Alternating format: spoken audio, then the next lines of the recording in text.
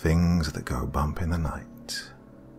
Things that tap, tap, tap on the door in the middle of the night, too. Would you dare get up and investigate? no, nor would I.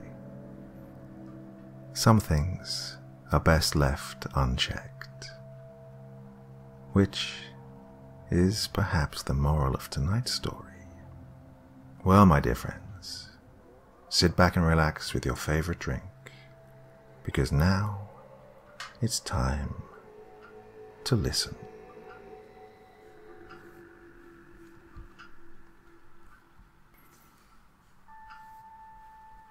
This happened years ago, but it is still something that sticks with me. Now, this all happened like a sequence. You never know if things are supposed to happen for a reason, or if some unknown outside force influences it. But first, a little backstory.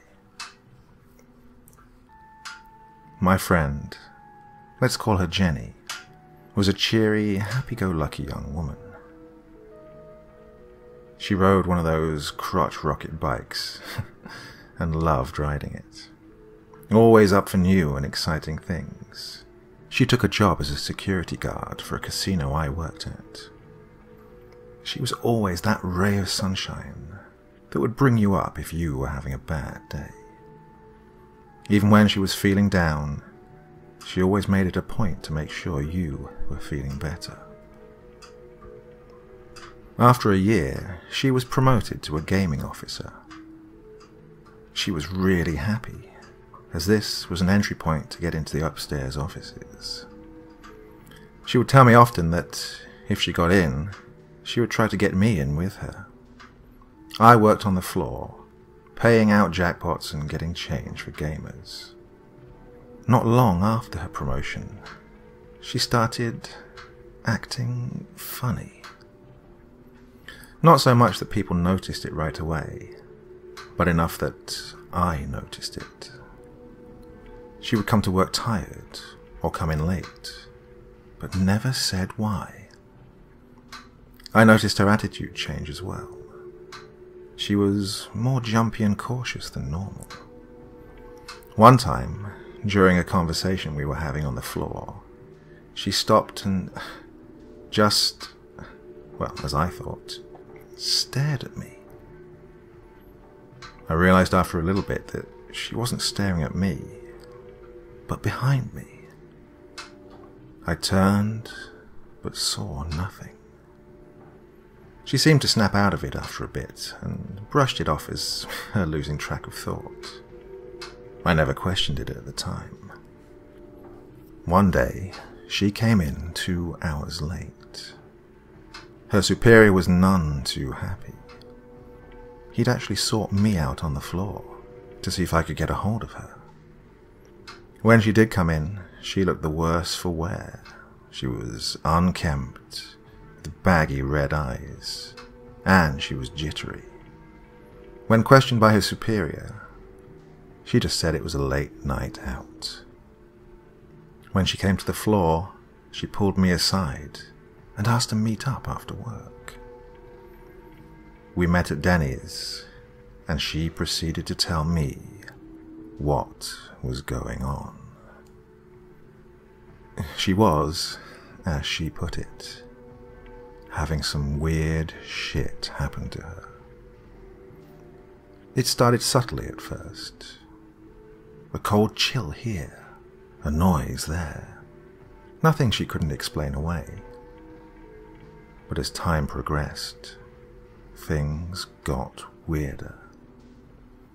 The chills got colder, the noises got louder and more frequent.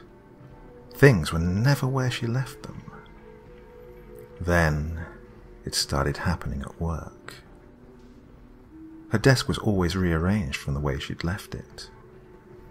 She thought that someone was messing with her, even voicing her concern, but nobody ever came forward.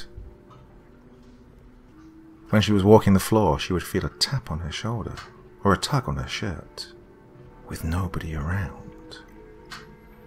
when she'd walk to her office, which was located near the uniform room in a less trafficked area of the building, she always heard footsteps in line with hers, as if someone was walking right behind her. She was afraid to use the restrooms as well, if no one was with her. It was there, one day, she said, that she got scared real bad. Answering the call of nature, she'd just begun when, she said, there was a single light knock on the stall door. She'd announced herself in the stall when someone knocked again. This time, two of them, louder than the first. She'd said she was using it and to use another when the door began to rattle, as if someone was jiggling the handle. And then it stopped. She said she was about to get up when, to her horror, the sliding lock began to slowly move, unlocking itself. Jenny said she flung the door open. No one was there. When she got out of the stall, no one was in there at all. She was about to walk out when, turning towards the stalls, she said she saw a dark mass, humanoid looking, peeking out behind the furthest stall. She said she's seen it often since. The day she was really late, she said she was awoken from her sleep. It was night. Her room was dark and she couldn't speak nor move. She tried to, she told me, but couldn't, and she had a dreaded feeling like she wasn't alone. The only thing she could move was her eyes, she recalled, and she happened to look up with them, seeing this humanoid mass looking right down at her. A faint glow where the eyes should be. She said she closed her eyes and was able to scream, finally gaining control of her body. She jumped out of bed and tried to turn on the light next to her bed, but it wouldn't work. The mass then started to come toward her, blocking her bedroom door. She told me she ran into the closet and shut it. The light in the closet worked. She said she was afraid to open the door. She heard it moving around the room. She fell asleep inside the closet, not waking till late in the morning, when she got dressed quickly and came in, hence her appearance. The last week of her life, she stayed with me. Despite the odd occurrences at work, nothing ever happened at my place. She was peaceful. She was sleeping and eating again, and on her days off, she reported nothing happening. The day she died was one of the strangest and scariest days of my life. It started with me going in as normal. I went in at 8 and Jenny came in an hour later. Things were pretty normal, and at 12 o'clock we had lunch. During lunch, she told me she was going to go back to her place. The last week was pretty good, and she hoped whatever it was had finally left her alone. After that, we went back to our posts. About half an hour after lunch, my supervisor called me into the office and said one of the swing shift people had called out, so asked if I could pull a double shift. If I agreed, I could take the next day off or come in and get the overtime. So I agreed. At around the same time, Jenny was asked to stay a few hours more, as one of her co-workers had suddenly gotten ill in the stomach and had had to go. So she agreed. After that, I started getting the strangest feeling, like I was being watched. I couldn't explain it. I felt like someone was staring at me in empty parts of the floor. Jenny told me she'd started to feel like a weight was being lifted off her, but she also felt like I was in trouble somehow. She told me that something in the back of her head was telling her that someone was mad at me, like they really hated me. But she didn't know who, nor could she explain why she had that specific feeling. My second shift started, and her extra hours started in this way. Some of my co workers reported feeling uneasy around me, while Jenny said that she was starting to become like her old self again. When Jenny was getting ready to end her shift at 11 in the evening that night, I took my final break to say goodbye, as I was getting out an hour after her. She said she felt free for the first time in what seemed like forever. She wanted to enjoy her ride home. She told me she would text me when she'd made it. We hugged and I saw her off for what would be the last time.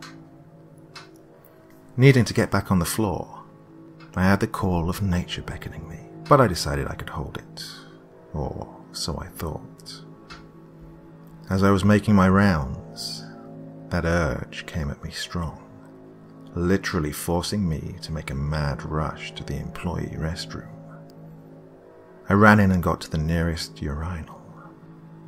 Relieved, I washed my hands and started to leave when a light, soft knock came from the direction of the stalls. There, peeking out from the farthest stall, was a black mass, humanoid looking with a soft glow where the eye should be. I blinked, and it was gone. I stood frozen there, literally trying to rationalize if I'd seen something or not. I looked at the time on my phone. Twenty minutes had passed since Jenny left. I looked up and there it was again. Only this time, I got this really bad feeling that something was wrong, and I bolted out of there. That image was burned into my memory and has been ever since. I called Jenny, but it went to voicemail. I finished the rest of my shift with a dreaded feeling. After work, I went home and tried calling again. Voicemail. I left her a message to get back to me ASAP.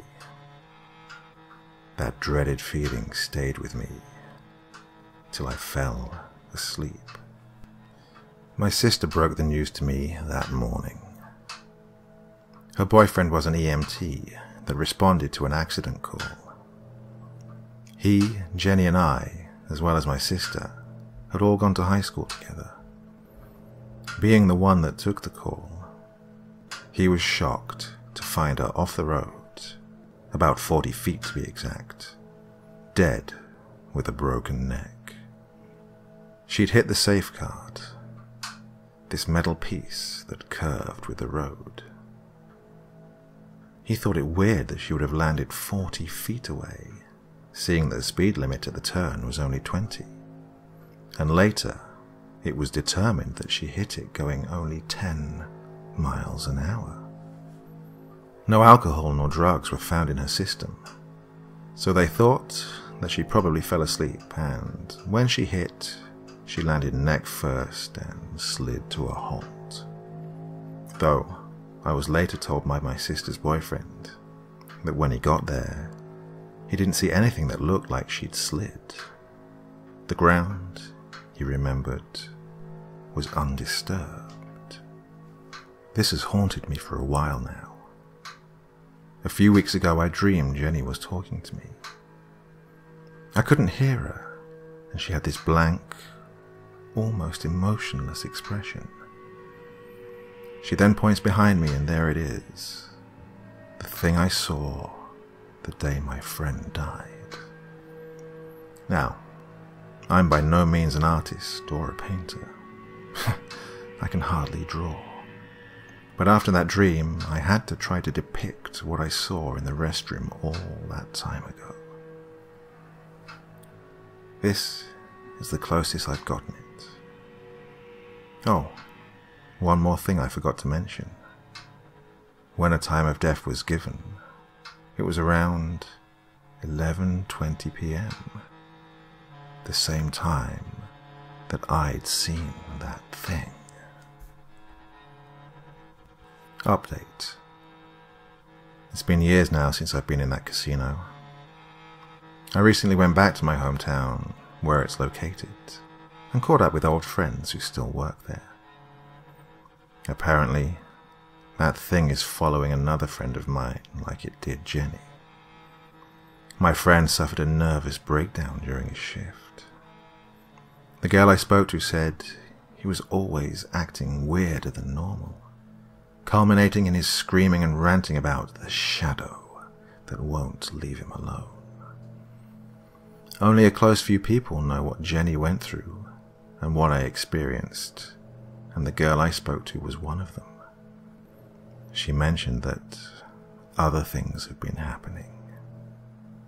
My brother, who started working security there a few years ago, mentioned something creepy he once witnessed. The security team usually has a driver who drives around the property to make sure the parking areas and back part of the casino are safe. Behind the casino are these dumpster areas that the food and beverage and custodial teams use. Well, my brother told me that one night he went on a break. There's a patio area outside that employees use to sit outside or to have a smoke. There's a wall around it, but on the other side is the dumpsters. He went to the patio with one of the food and beverage girls for a smoke. During this time, they heard faint crying. At the same time, over his radio, he heard the truck driver calling in a female he'd spotted, crying in the corner of the dumpsters. He said the driver described her as short, with long black hair, blue sweater, and jeans, with no shoes on. She was crouched in the corner, her back to him, sobbing. My brother, of course, being on the opposite side of the wall, could barely hear crying. Well, he then said the driver called it into surveillance. There were two cameras that pointed in that direction, one seeing that particular corner very well. After he called it in, surveillance got back to him asking him what he was talking about. This is how he put it. What are you calling in again? A female in the corner of the dumpsters crying. She's not responding to my calls. Okay. We see you. We don't see a girl. What do you mean? She's right in front of me. No, sir. All we see is you. No one else. Are you serious? You really don't see a girl right there? No, sir. If you're joking, then it's a bad one, not to mention a waste of our time. That's about the time my brother said the crying stopped, followed by a shriek from the driver and him burning rubber out of there. My brother went on to say that the driver was visibly shaken and trembling. When pressed by his supervisor about what had happened, he related that, after surveillance said she wasn't there, she stopped crying and stood up, her head falling back like it had no neck bones, and then started to walk towards him but backwards, with her head dangling side to side. He shrieked and got out of there. What was disturbing as well to my brother was that later the driver said that when her head fell back, it had no face. I must say, some creepy shit is going on there. I wonder though, the way he described the girl, I wonder if it was Jenny. Even though she didn't die at the casino, I wonder if that thing is keeping her trapped there.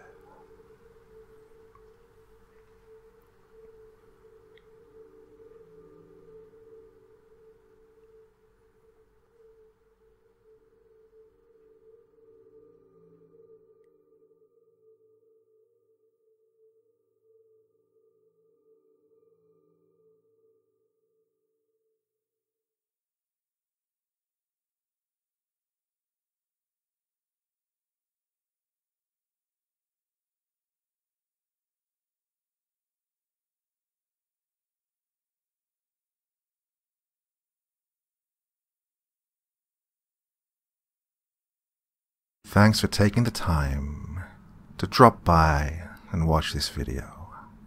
You know what would make me a happy doctor? Hitting that like button, leaving a comment, and subscribing to my channel. Go on, I've got plenty more stories to tell you.